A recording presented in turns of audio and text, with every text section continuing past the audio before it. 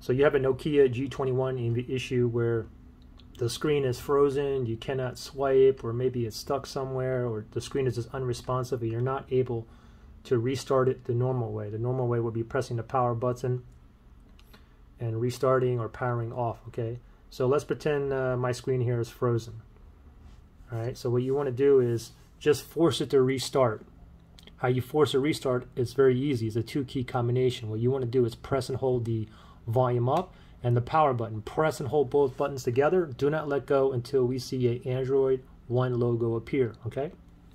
Let's do this together. Let's pretend I'm stuck somewhere on the phone or the screen's just not working. Volume up, power, ready, set, go. Press and hold. Keep on holding.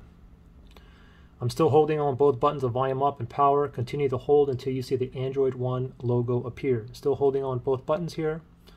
Looks like the phone just turned off. Still holding, it vibrated. There's the Android One logo. Let go of both buttons and there you go.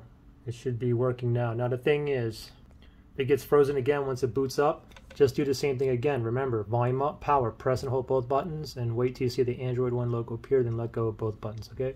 Pretty simple.